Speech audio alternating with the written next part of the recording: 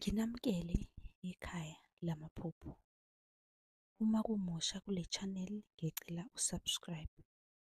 Uma ubuka ku-TikTok sifolowe ucele inamba ku-inbox.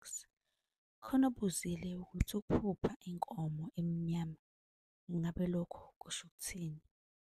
Ngizoqale ngikhulume nje ngenkomo bese ngiyakuchazela ukuthi emnyama isho ukuthini.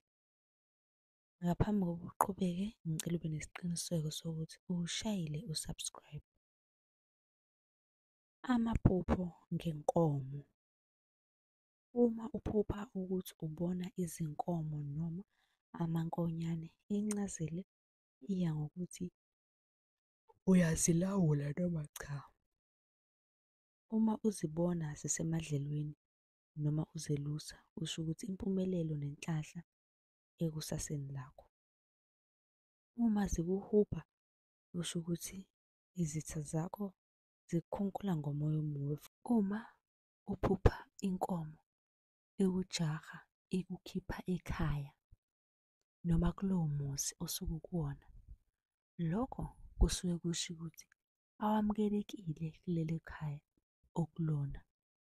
Awuvumelekile noma ngithi abadala abakaze bekwamukele kahle kahle awudingakali kulona.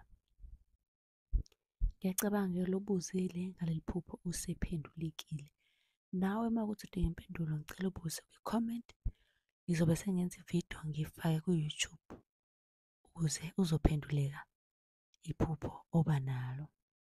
Ningakhohlwa phela uku-subscribe-a kule channel ngoba amavidiyo ngizolokhu ngiwafakile nje ngilokhu ngiwafakile. Nisale kahle.